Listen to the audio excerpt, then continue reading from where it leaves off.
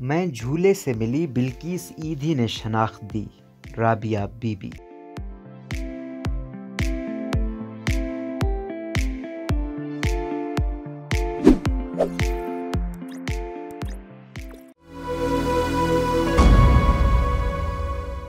अमर गुरुलू के मुताबिक बिल्किस ईदी फाउंडेशन की सरबराह बिल्किस ईदी की वफात के कुछ घंटों बाद ही समाजी रबते की वेबसाइट लिंक्ड इन पर एक पोस्ट शेयर की गई, जिसमें उन्हें खराज तहसीन पेश किया गया था। इस पोस्ट में लिखा गया था, अट्ठाईस साल पहले मुझे ईदी यतीम खाने के सामने झूले में छोड़ दिया गया था। मैं आपको मिली, आपने अपनी वालदा राबिया बानो का नाम देकर मुझे एक शनाख्त दी, आपने मुझे घर दिया। आज मैं जो कुछ भी हूँ, वो आप ही की वजह से हूँ। मेरी एक शनाख्त है और प्यार करने वाले वालदेन है, जिनको मैं अपने वालदेन वालदेन कह सकती हूँ। सोशल मीडिया पर यह पोस्ट राबिया बीबी ओस्मान ने शेयर की थी, जो चंद ही घंटों में इंटरनेट पर वायरल हो गई। लोगों ने पोस्ट के स्क्रीन लेकर फेसबुक, ट्विटर, इंस्टाग्राम पर शेयर करना शुरू कर दिए। सिर्फ़ लिंक्ड इन पर ही इस पोस्ट को तकरीबन 2000 बार शेयर किया जा चुका है और पचास हज़ार के करीब लोगों ने इस पर रद्द अमल दिया है। अपनी इसी पोस्ट में राबिया ने मजीद लिखा कि बिल्किस आपने खातन के हकूक पर काम किया। आप एक मुतहरिक समाजी कारकुन और अच्छाई के काम करने वाली बागी थी।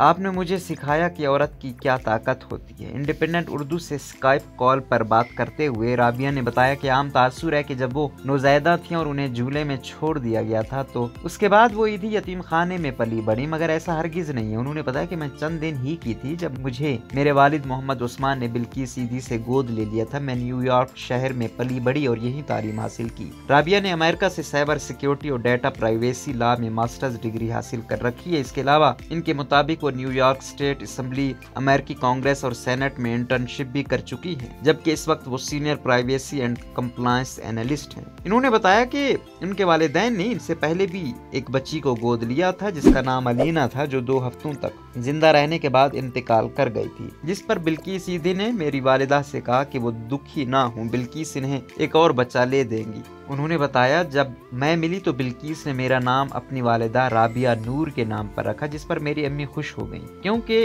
इनकी वालदा का नाम भी राबिया है, फिर मेरी वालदा ने कहा कि इनकी वालदा का नाम क्यों नहीं है मेरे नाम में? मेरी दादी का नाम चाँद बीबी था तो वालिद ने मेरा नाम राबिया बीबी ओस्मान रखा। मेरा नाम राबिया बानो नहीं। राबिया ने बताया कि उनका किसी भी सोशल मीडिया पर कोई भी अकाउंट नहीं, सिर्फ़ लिंक्ड इन पर अकाउंट है। जब उनसे पूछा गया कि आमतौर पर जिन लावारिस बच्चों को गोद लिया जाता है, वो अपनी शनाख्त छुपाते हैं, इन्होंने बिल्की सीधी की वफात पर न सिर्फ़ उनको खराज तहसीन पेश किया, और साथ में फखरी अंदाज में अपनी शनाख्त भी बताई, जिस पर राबिया ने बताया कि जब बिल्की सीधी ज़िंदा थी, तब मैंने उनको कहा था कि माँ, मैं आपकी वजह से यहाँ हूँ, मगर मुझे लगा कि सिर्फ़ इतना कहना कम था। इसलिए जब मुझे उनकी वफात का बताया गया तो मुझे गम के साथ गुस्सा भी आया कि माँ कहाँ चली गई। ये पोस्ट एक दिल शिकस्ता बेटी की जानब से अपनी माँ को लिखा गया एक खत था। उन्होंने मजीद कहा, लोगों ने मुझे कहा कि उनको मेरी पोस्ट से जज्बा मिला तो मैं उन सबसे कहती हूँ कि मेरी तारीफ़ बहुत हो गई। बिल्कि सीधी चली गई, मगर उनकी रिवायत तो जारी है। अब लोग जाकर उनकी तंजीम की मदद करें।